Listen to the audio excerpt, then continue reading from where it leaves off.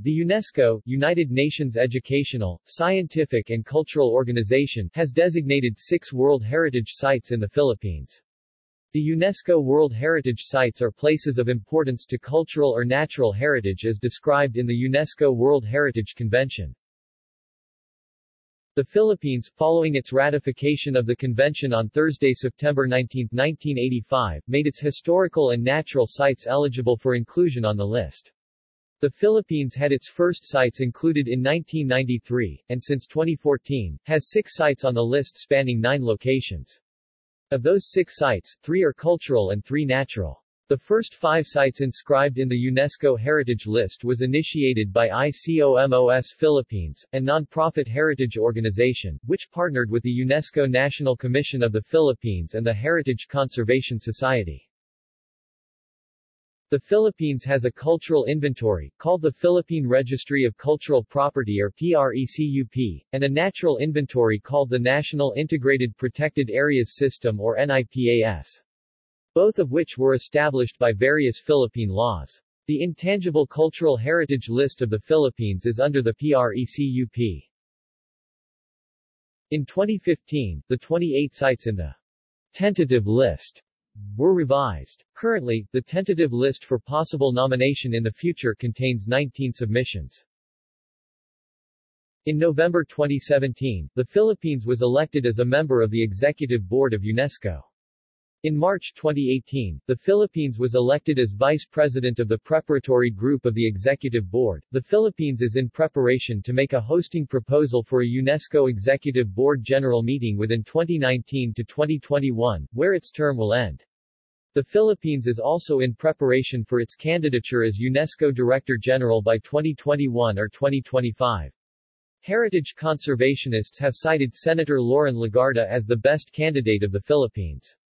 The possible candidature is supported by the Southeast Asian Bloc and the Latin American Bloc, with some degree of support from the United States, Russia, Japan and China. Nomination process of World Heritage Sites The National Commission for Culture and the Arts and other heritage agencies National Museum of the Philippines, Department of Environment and Natural Resources, National Historical Commission of the Philippines, and others, are the prime nominators of the Republic of the Philippines, though other entities can nominate sites in the tentative list as well, such as universities and NGOs. The Permanent Delegation of Philippines to UNESCO is also eligible to nominate sites in the tentative list and the World Heritage List. A site can only declared as a UNESCO World Heritage Site if and only if they accomplish the nomination procedures mandated by UNESCO. The Republic of the Philippines first became a committee member from 1991 up to 1997, where three UNESCO World Heritage Sites in the country were enlisted in Heritage List. Its first committee membership also brought the first site declaration in the country and the most site declarations in a given time frame. It became a committee member again from 2011 up to 2017, where only one site for the country was declared. The state did not participate heavily in the nomination of its own sites in its second term due to the intention of the government to act as a neutral committee member and to use the time between 2013 to 2017 as preparation for future nominations. All nominated sites are reviewed by three UNESCO partners, namely, IUCN, ICOMOS, and ICCROM. Between 2016 and 2017, the Philippines formally established three workshops on UNESCO nominations to fill in the gaps in nomination capabilities of the Philippines to UNESCO and to further enlarge and conserve the heritage list of the Philippines. The government plans to nominate one site annually starting in 2018. World Heritage Sites in the 1990s, Filipino architect Augusto Villalon represented the Philippines in the UNESCO committee and drafted the nomination dossiers of five heritage inscriptions. All the five inscriptions, which were the first five UNESCO sites in the Philippines, were declared as UNESCO World Heritage Sites from 1993 to 1999. These sites include the Baroque churches of the Philippines Miagao in Iloilo, Paoay in Ilocos Norte, Santa Maria in Ilocos Sur, and San Agustin in Manila, Tubataha Reef National Park, Puerto Princesa Subterranean River National Park, historic city of Vigan, and the rice terraces of the Philippine Cordilleras after Villalon retired, the country had a 14-year drought in UNESCO World Heritage designations, which would be broken only in 2014, when Mount Hamiguitan Range Wildlife Sanctuary was declared as a UNESCO World Heritage Site. The table lists information about each World Heritage Site. Name, as listed by the World Heritage Committee. Location, city or province of site. Region, one of the 17 regions of the Philippines UNESCO data. The year the site was inscribed on the World Heritage List, the criteria it was listed under, criteria I through V are cultural, while V through X are natural. The column sorts by year added to the list. Period. Time of construction Description. Brief description of the site Ref. References Sites by Philippine regions Exclusive UNESCO World Heritage Sites refer to sites locating in a single community, region. Shared sites refer to sites with entries in multiple communities, regions, such the Baroque churches of the Philippines, which is distributed in three regions. Need for a Department of Culture there have been proposals to establish a policy where each municipality and city will have an ordinance mandating all constructions within each territory to be inclined with the municipality or city's architecture and landscaping styles to preserve and conserve the country's dying heritage sites which have been demolished one at a time in a fast pace due to urbanization and culturally unresponsible development. Such policies are used by countries which have preserved their architectural marvels for hundreds of years, such as Italy, France, Romania, Germany, and Spain. The proposal advocates both indigenous, colonial, and modern architectural and landscaping styles that are prevalent or used to be prevalent in a given city or municipality. The proposal, however, has yet to be manifested into an actual policy due to the lack of a Department of Culture. Only the city of Vigan has passed such an ordinance, which led to its declaration as a UNESCO World Heritage Site in 1999 and awarding of various recognition for the conservation and preservation of its unique architectural and landscaping styles. In 2016, Senator Loren Legarda filed a bill establishing the Department of Culture. The bill was introduced in the Senate in January 2017 and is expected to be passed into law in late 2018 or early 2019. The bill is backed by nine other senators from different political parties, namely, Bam Aquino, Nancy Binay, Francis Escudero, Juan Zubiri, Joseph Ejercito, Joel Villanueva, Sherwin Gatchalian, Riza Hontiveros, and Sonny Angara. Three counterpart bills that aim to establish a Department of Culture has also been filed in the House of Representatives, authored by Christopher de Venecia, Evelina Escudero, and Jose Antonio Sy Alvarado. The establishment of a Department of Culture aims to nurture Philippine culture and arts, including the heritage sites of the country, making it easier to nominate properties in the many lists of UNESCO.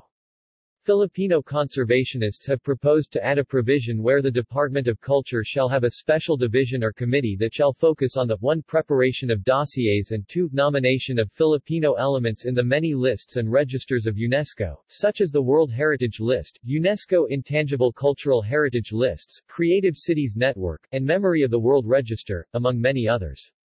A provision to establish a committee between the Department of Culture and the Department of Environment and Natural Resources have also been proposed, where the converged committee may discuss dossiers and nominations of sites with both natural and cultural value, notably for the World Heritage List, Creative Cities Network, Biosphere Reserve, and Global Geoparks Network. Tentative list the following 19 sites are on the tentative list for the Philippines, meaning that the government intends to consider them for nomination in the future.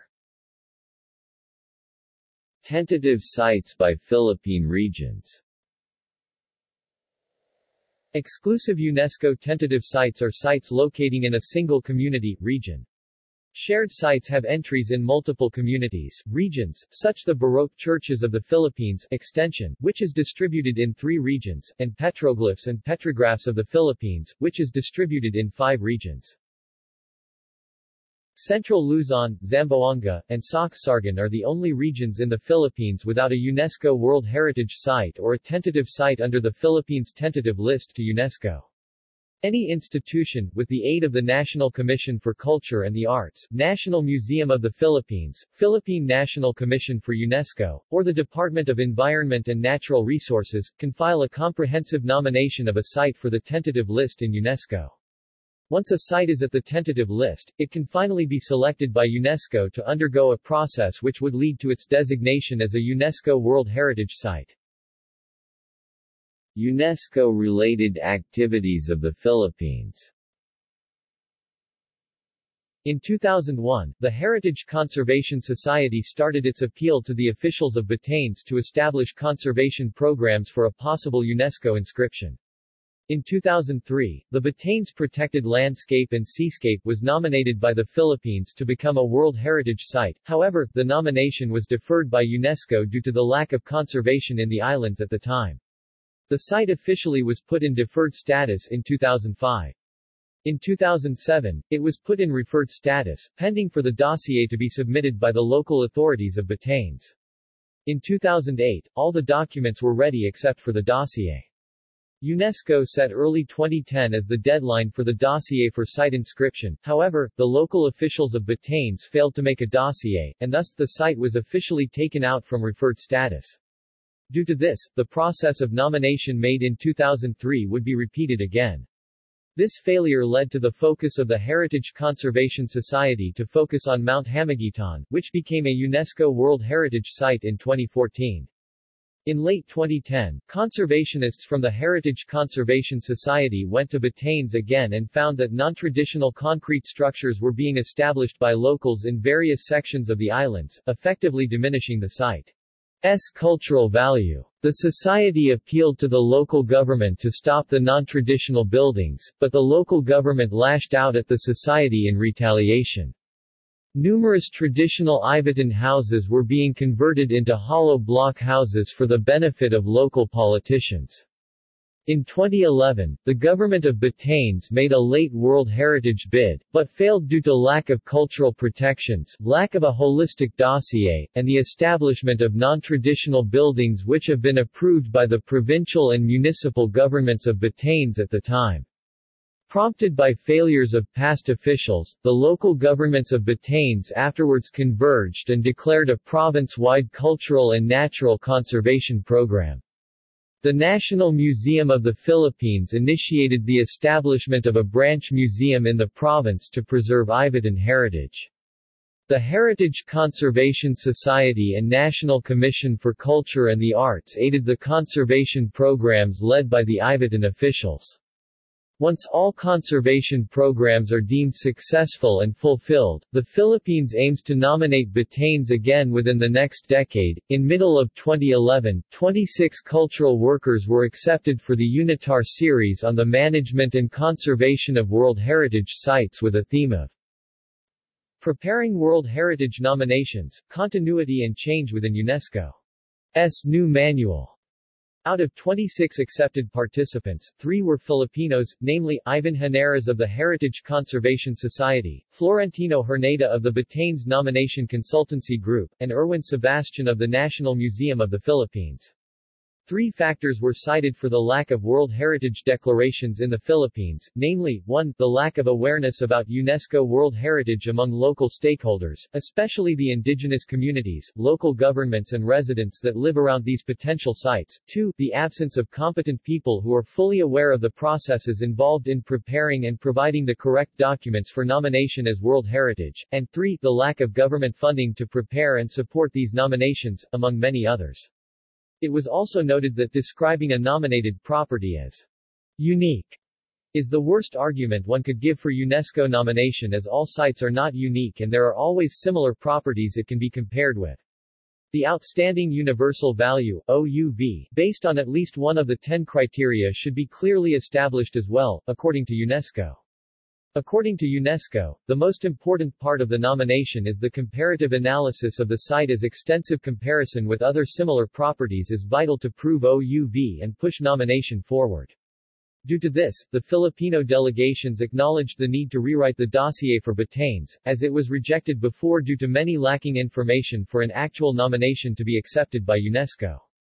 Due to these findings, the Philippine government would later establish a World Heritage Nomination Workshop series from 2016 to 2017 for the tentative sites and possible tentative sites of the country.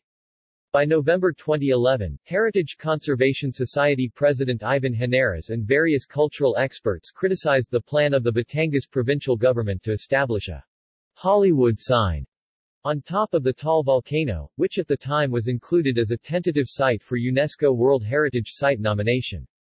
Henares noted that Taal would lose its credibility to be declared as a UNESCO site if the sign project pushes through. The criticism against the project was further enlarged by social media, and a few days later, the provincial government retracted the proposal. In 2013, Typhoon Haiyan and the 2013 Bohol earthquake hit the central Visayas, damaging numerous heritage sites throughout the region, including sites listed in the Philippine UNESCO tentative list. In 2014, the faithful restoration of the sites began. In early 2014, the Lazi Church as a sole site was nominated by the Philippines, however, UNESCO advised the government to prepare a more complete dossier first, including its surrounding heritage structures and domains, making the old town of Lazi, Siquijor a UNESCO-recommended site. Representatives of the site were sent to the World Heritage and Biosphere Reserve Nomination Workshop in July 1-4 in Vigan City, Ilocos Sur for proper dossier making. The dossier for the site has yet to be completed by the local government unit and the national government. Similar dossiers are being finished by other Baroque churches in the country. Once complete, the extension nomination for the Baroque churches of the Philippines can commence in Paris. Afterwards, the National Commission for Culture and the Arts launched the Sagasag Cultura, a long-term cultural mapping program that lists and discusses the cultural icons of the Philippines, both intangible and tangible, living and non-living. The program has listed more than 2,000 cultural icons, all of which are accessible to the public and can be downloaded at the Commission's website for reference and study. In late 2014, the idea to nominate the Manila-Acapulco galleon trade route was initiated by the Mexican ambassador to UNESCO with the Filipino ambassador to UNESCO. In March 20, 2015, the UNESCO tentative list of the Philippines was fully revised after recommendations from the UNESCO itself. The original tentative list before the March 2015 revision enlisted 28 sites. Many of the sites removed from the list were sites hit by Typhoon Haiyan and the Bohol earthquake in 2013. The country announced that it shall revitalize the sites removed from the tentative list first before those sites can be resubmitted in the future. In October 2015, the National Commission for Culture and the Arts announced through their official Instagram account that they shall nominate the sugar centrals of the Philippines and related properties of Negros Occidental to the World Heritage List in the near future. Though the site has yet to be entered in the tentative list. In experts Roundtable meeting was held at the University of Santo Tomas UST on April 23, 2015 as part of the preparation of the Philippines for the possible transnational nomination of the Manila-Acapulco galleon trade route to the World Heritage List. The nomination will be made jointly with Mexico. The meeting focused on the Tornaviaje, shipyards in the Bicol region, underwater archaeology, maps and cartography, fortifications in the Philippines, food, textile, and historical dimension. The papers presented and discussed during the roundtable meeting will be synthesized into a working document to establish the route. S outstanding universal value. The Mexican side reiterated that they will also follow suit with the preparations for the route's nomination. Spain has also backed the nomination of the route in the World Heritage List and has also suggested the archives related to the route under the possession of the Philippines, Mexico, and Spain to be nominated as part of another UNESCO list, the Memory of the World Register. In August 2015, the Philippine Heritage Map, also known as the Philippine Inventory of Cultural Properties and Historic Events, was launched by Arches, Getty Conservation Institute, and World Monuments Fund, in cooperation with the National Commission for Culture and the Arts, National Museum of the Philippines, and the National Historical Commission of the Philippines. The map is constantly being updated and has aided in the cultural conservation of numerous sites throughout the country. In early 2016, the heritage city of Malolos was cited by cultural experts as a site with huge potential to become a UNESCO World Heritage Site in the future. However, no organization has yet pushed for the inclusion of the heritage city in the UNESCO tentative list. In March 2016, the Heritage Conservation Society appealed to numerous sugar central site owners in the Philippines to preserve their respective heritage sugar mills and other structures, especially those in Negros Island and Pampanga Province. In September 2016, the Heritage Conservation Society announced that the Negros sugar heritage sites are now in the process of making a dossier. The society identified at least six heritage clusters so far. Once the dossier is complete, the Society intends to formally message the Philippine National Commission to UNESCO so that the site can be added in the tentative list, making the site eligible for UNESCO nomination. The Society noted that it will take several years for the nomination to be finalized, as it was the normal timeline for a World Heritage inclusion. In 14 to 15 April 2016, the first leg of the Pamana Heritage Workshop of the Philippine government was administered in Puerto Princesa, Palawan. The second leg was administered on 15–16 September 2016 in Mati, Davao Oriental. The third and last leg was administered in Legazpi City, Albay on 23–24 March 2017.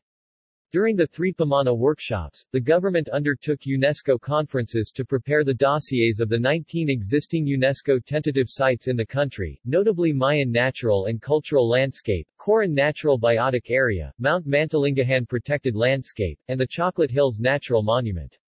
The government also invited the administrators of sites not included yet in the tentative list.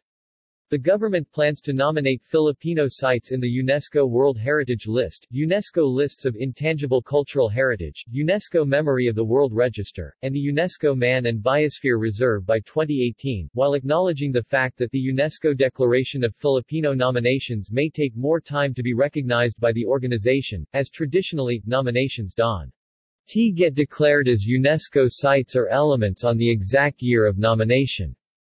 In June 2016, Heritage Conservation Society President Ivan Henares, with aid from the U.S. Embassy, successfully initiated the Cultural Tourism Program for the Agusan Marsh Wildlife Sanctuary, which benefits the indigenous communities of the site.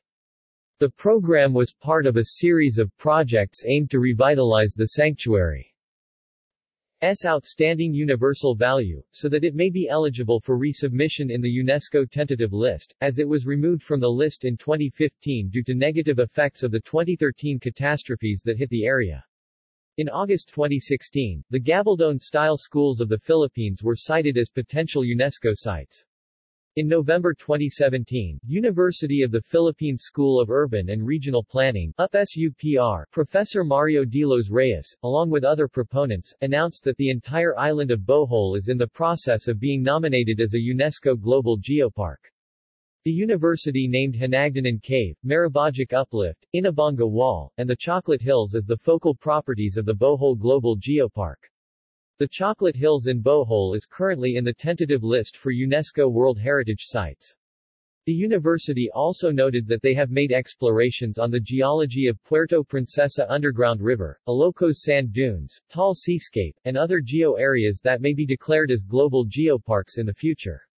The university pointed that it aims to have Bohol be declared as the first UNESCO Global Geopark in the Philippines. Once declared, Bohol S geology will be protected by UNESCO, and the Chocolate Hills Natural Monument will have a better chance to be declared as a UNESCO World Heritage Site. In February 2018, majority of the sites that were damaged or completely destroyed during the 2013 Central Visayas earthquake and Super Typhoon Haiyan were restored to their original state using advanced technology that made it possible to restore the sites in the most faithful way possible, effectively preserving the outstanding universal value of the sites.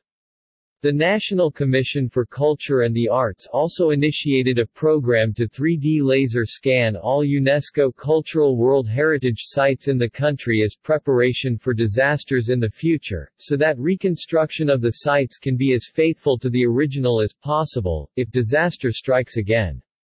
The program for World Heritage Site 3D scanning will end in March 2018, but the Commission aims to further the program to include sites not yet listed as World Heritage Sites, especially those within fault lines such as Metro Manila, Negros, Cebu, Bohol, Northern Mindanao, and the Cordilleras. In February 20, 2018, the National Commission for Culture and the Arts announced that they are guiding stakeholders to begin the long process in aiming to declare the Kalibo Pina weaving of Aklan a UNESCO Intangible Cultural Heritage. On 9 April 2018, the National Commission for Culture and the Arts NCCA nominated the Buklog rituals of the Subanen people to the list in need for urgent safeguarding. UNESCO has set the nomination of Buklog for the 2019 inscription cycle. In July 2, 2018, the government announced its bid to declare Bohol a UNESCO Global Geopark Reserve. The UPSERP, UNACOM, and the provincial government have listed the Alicia schist in Lamanok Island in Anda, Philippine Tarsier, Carlito syrichta, and Wildlife Sanctuary in Corella, Chocolate Hills in Carmen, uplifted marine terraces in Maribojoc and Loon, Hinagdanan Cave in Dauis, Balicasag Marine Sanctuary, Baclayon Church, Loboc Church ruins, and the newly restored Dauis Church as proposed geosites for Bohol. Dr. Patrick James McKeever, Secretary of the International Geosciences and Geoparks Program of UNESCO, later came into the country last July 23–27, 2018 to inspect the site. S potential. If the site is given approval by 2019 or 2020, it will be the first UNESCO Global Geopark Reserve of the Philippines.